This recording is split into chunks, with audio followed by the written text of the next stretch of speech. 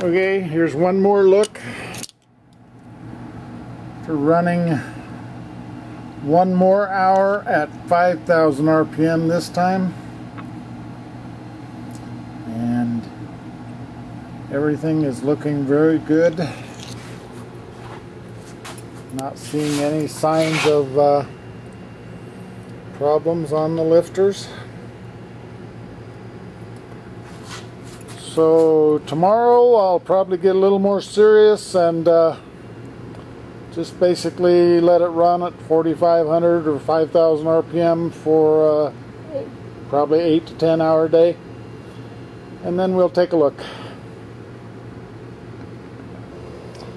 Well, we're back. Got up and started this thing up before breakfast this morning. And it's been running a little over four hours between four and five thousand RPM I've been varying it up and down a bit. When I'd come out to check it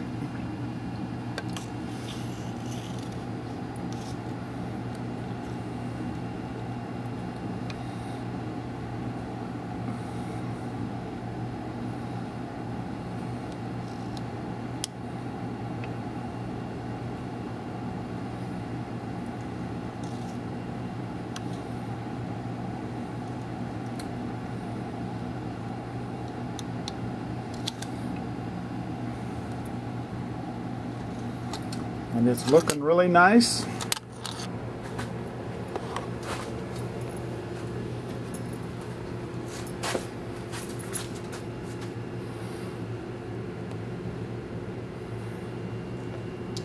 As are the cam followers.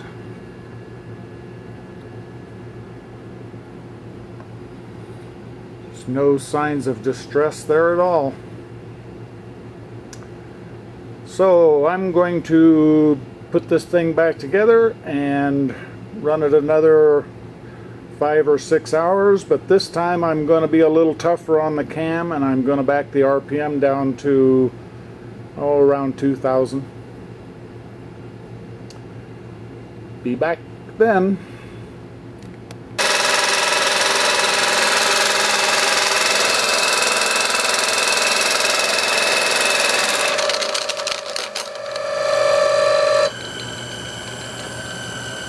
Well, here we are with two more hours of running. Uh, roughly one hour at 2000 RPM and one hour at 2500 RPM. I've not been using the cooling fan.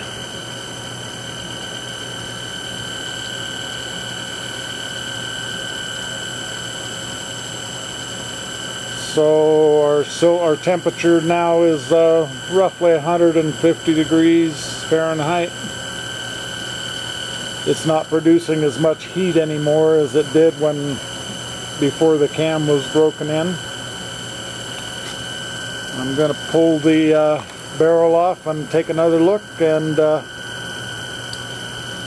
and then I'll put it back together for most likely the final run. So we're now at around 10 hours of run time. And I don't see anything on the cam that would indicate problems.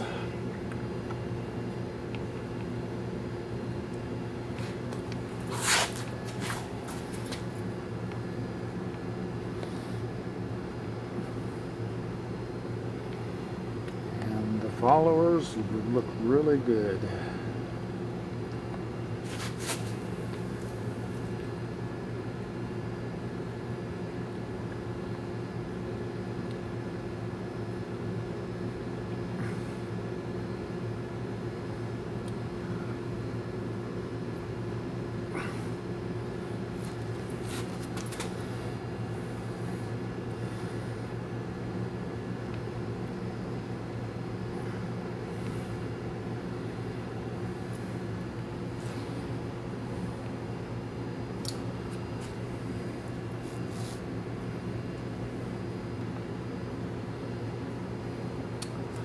So I think I'm going to put it back together and run it up to red line, basically 6500 and run it for something like an hour and then probably back it off to uh, idle speed for a while and uh, make sure that uh, everything still looks good. Well, here we are, button back up. Valve clearances have been checked. They grew by maybe a half a thousandth over today's running.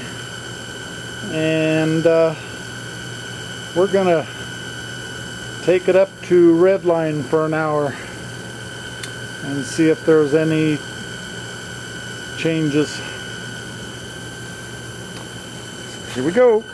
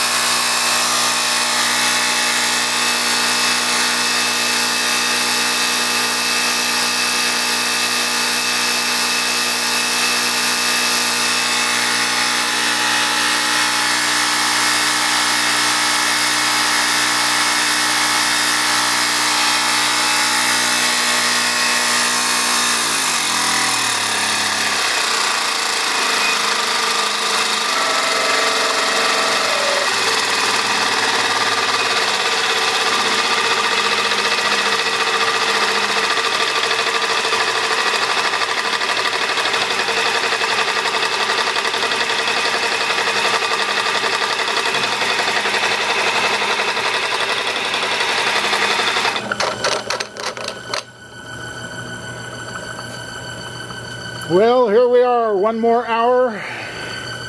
The first half hour was at 6,500 RPM. Then I decided to push it a little more, and the last half hour has been at 7,500 RPM. Oil and barrel temperatures are over 200 now. And as soon as things cool off enough to touch, I'm going to pull the barrel off and have another look at the lifters.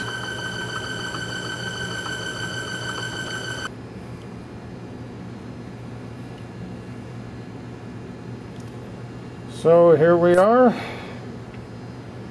after 6500 and 7500 for the hour. The cam is not showing any signs of distress at all looking good.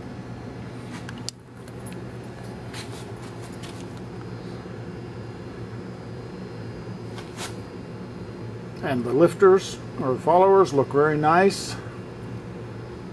I am starting to see the first sign of a line down the center of the follower.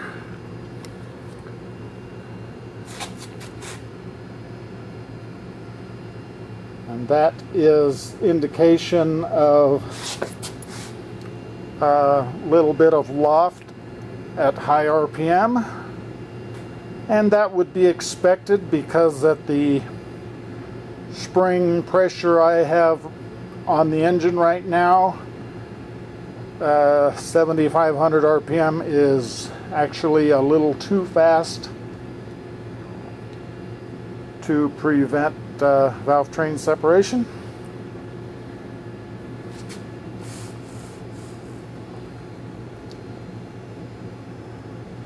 And valve train separation over peak is what causes that little line.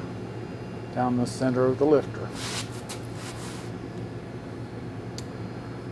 So basically,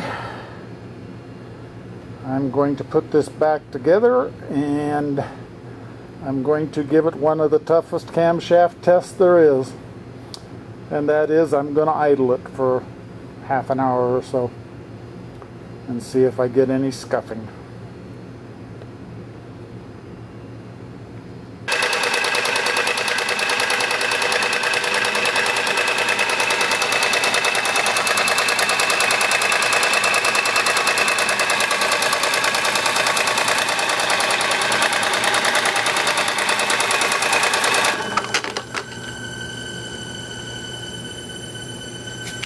Well, it's been running for 35 minutes at idle. Uh, idle speed was roughly a thousand, somewhere between a thousand and 1100 RPM. And since 1100 RPM is definitely the lowest I would ever uh, recommend for an idle speed on a Norton, we will uh, take a look and see what she looks like. Well, here we are after 35 minutes of idling. And I would call this the uh, first successful test of uh, of a hard welded cam follower.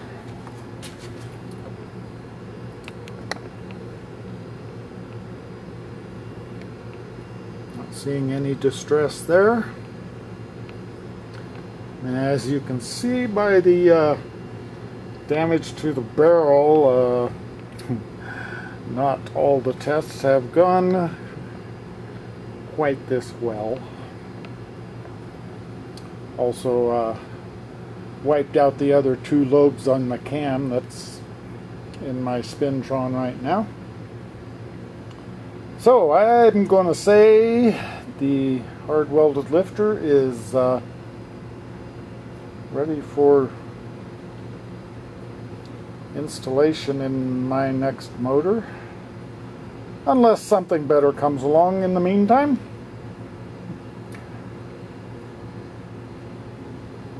Thanks for watching.